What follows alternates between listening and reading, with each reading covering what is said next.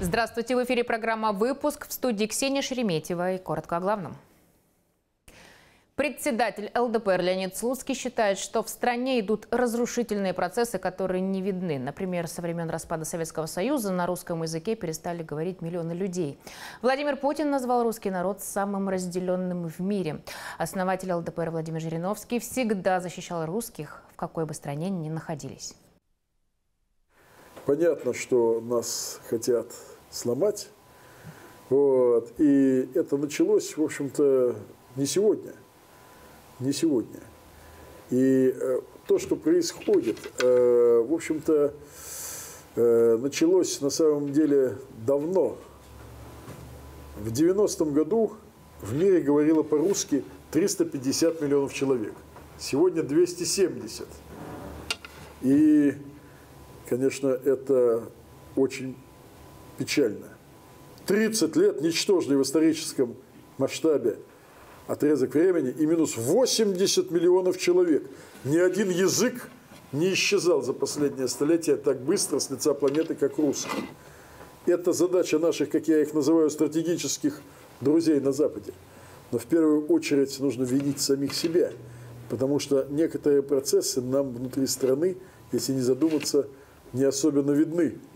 На одной только Украине до начала братоубийственного кризиса вы помните, это началось с ноябрьского саммита Восточного партнерства 2013 года, когда Янукович отказался подписывать соглашение об ассоциации с Евросоюзом, и США испугались, что такое соглашение будет подписано с Евразийским экономическим союзом.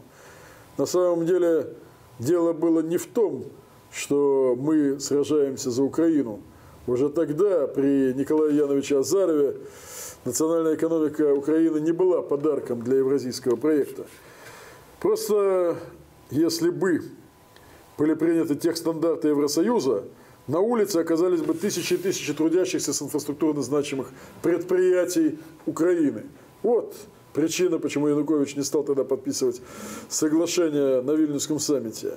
Ну и понятно, что им всем померещилась Россия – все они, движимые парадигмой Бжезинского Россия с Украиной сверхдержава, без Украины наоборот. И надо, если мы хотим сделать, э, добиться, э, извините, укра... Э, американской гегемонии на планете в 21 веке, надо любой ценой оторвать Украину от России.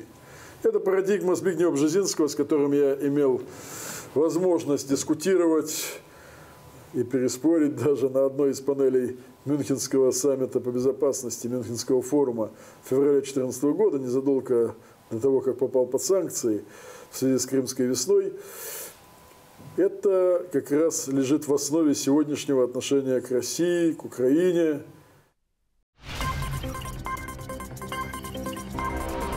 ЛДПР за мирное освоение космоса. Председатель ЛДПР Леонид Слуцкий на встрече со студентами Мелитопольского университета выразил мнение, что его выпускники должны прийти в отрасли, связанные с мирным космосом, ведь космическая дипломатия набирает обороты. Что касается Роскосмоса, значит, э, реальная программы космического образования нам надо понимать. Мы хотим э, готовить специалистов в сфере э, космических технологий, то, чем занимаются факультет М машиностроения МВТУ имени Баумана, э, физтех, то есть специалистов именно для космоса, их тоже достаточно мало, они потом сидят в своих закрытых учреждениях, как раньше называли почтовые ящики, ящики ЦНИ ПСК, ЦНИ проект конструкция, ЦНИ МАШ, на самом деле это космические э, э, структуры НПО Лавочкина, Федеральный космический центр имени Хруничева. Вот. Мне кажется, что для университета, подобного Мелитопольскому университету, в большей степени востребовано э, сотрудничество в сфере мирного космоса. То, что последние годы называется космической дипломатией. Э, вот, а не разработкой э, высокотехнологических элементов обшивки космических кораблей, э, двигателей наших носителей и того, что составляет суть нашего общего машиностроения, говоря по-старому, а ныне Центр Хруничева занимается нашими массивными ракетами.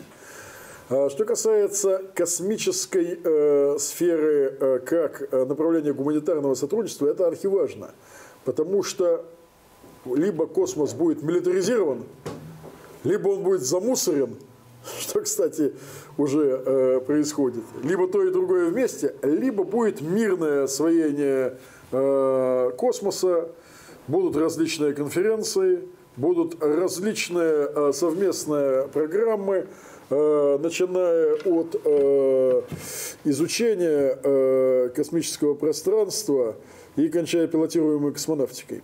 Э, космическая дипломатия стремительно набирает обороты.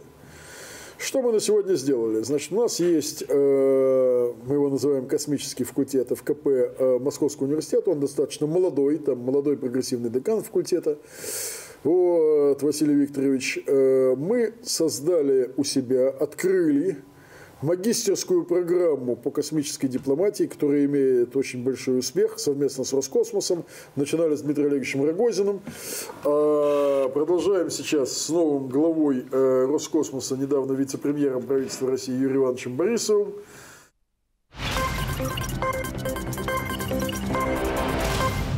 Заместитель председателя Госдумы от ЛДПР Борис Чернышов предложил провести большую ревизию университетов и научных кадров, которые имеют отношение к ключевым отраслям промышленности и экономики страны. В этом году был ликвидирован НИИ транспорта и транспортного строительства. Борис Чернышов считает, что подобные решения сегодня недопустимы. Вопрос, связанный с наукой – вы знаете, я сегодня при подготовке к данным слушаниям зашел на сайт Российского университета транспорта. Те вопросы, о которых говорил Вячеслав Викторович Володин и другие коллеги, говоря о том, что те или иные комплектующие из других стран привозятся, э, знаете, там и литий, и батареи, и что там, не знаю, что называется, даже шины в некоторых случаях могут быть привозными, завозными. И тут я увидел, что на сайте РУТ, ну, есть, точнее, не есть, а был прекрасный НИИ. НИИ транспорта и транспортного строительства. Ну, казалось бы, этот научно-исследовательский институт мог бы заняться этими ключевыми вопросами и изучить эти ключевые позиции, дать решения, подготовить специалистов, кандидатов, докторов наук. Они все могли бы предложить эффективный способ э, работы с технологией. Но он был закрыт.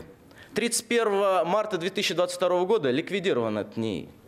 И так очень много научно-исследовательских учреждений, которые бы сегодня крайне важно могли бы работать по тем отраслям экономики, которые нуждаются в самой мобилизации, были закрыты. Их нету. Готовят ли отраслевые университеты, либо университеты федеральные, необходимое количество специалистов? Ответ спорный. И вопрос вообще подвешенным остается. Это все ключевой момент. Вопрос кадров был и остается всегда основным и самым э, глобальным.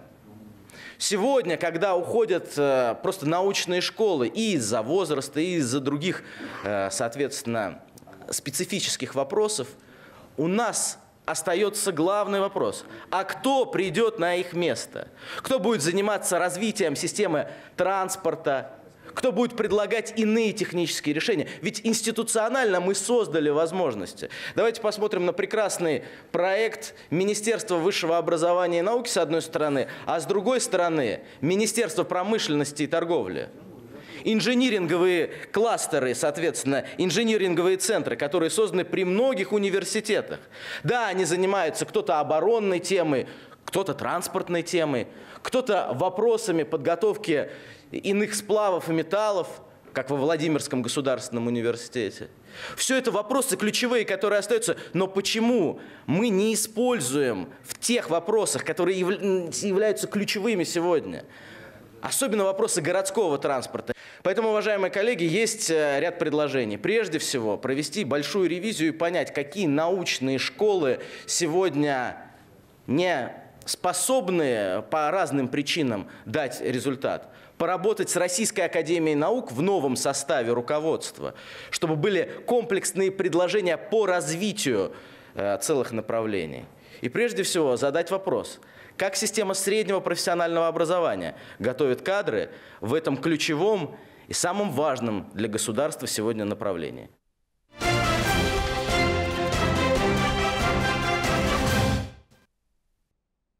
Активисты регионального отделения ЛДПР из еврейской автономной области точечно помогают военнослужащим и мобилизованным на передовой.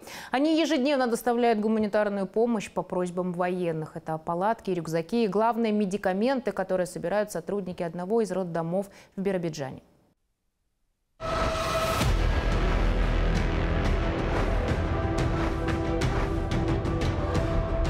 Привезли очередную гуманитарную помощь для наших военнослужащих, призванных по частичной мобилизации.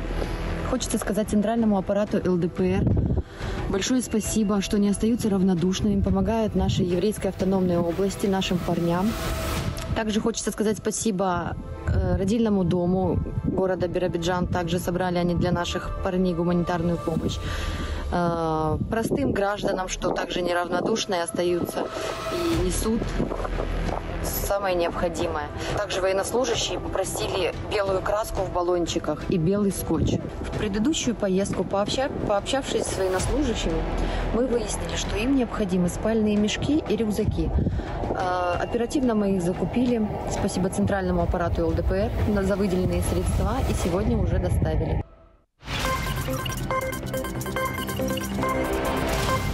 К этому часу все новости. Больше новостей смотрите на нашем YouTube, Рутуб и Телеграм-канале.